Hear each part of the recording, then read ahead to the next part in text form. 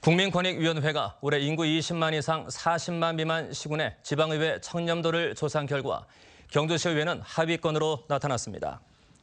청렴도 조사 결과 경주시의회 종합 청렴도는 5.6점으로 29개 기초의회 가운데 27위에 머물러 5개 등급 가운데 4등급으로 나타났고 울산광역시 중구의회가 1등급으로 가장 좋은 평가를 받았습니다.